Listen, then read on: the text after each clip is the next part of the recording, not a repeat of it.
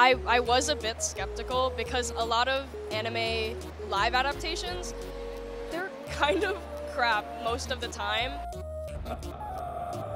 So what do you say? Are you with me?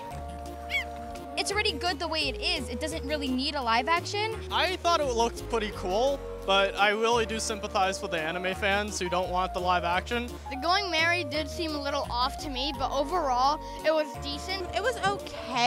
I would watch it, but it wouldn't be my favorite thing. Anime is really hard to get right in live action. Personally, I don't have too high expectations because there hasn't been a good track record there for anime translated to TV shows. I was never really a big One Piece fan. I found it a little bit overrated. I didn't I didn't watch this trailer, so I don't know. You have to give it a chance first before you can give an actual like opinion. Like you don't know if it's going to be bad or not until you watch it.